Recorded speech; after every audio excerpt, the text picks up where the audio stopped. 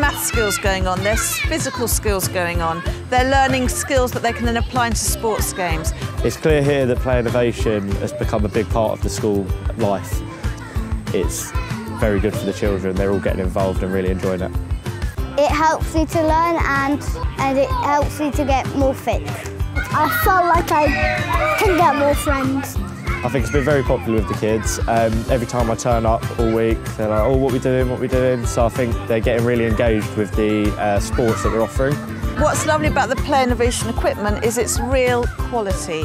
So they're absolutely fixed, they're firm, they're absolutely child-proof, and I know that they'll still be standing here like they look today in 20 years' time.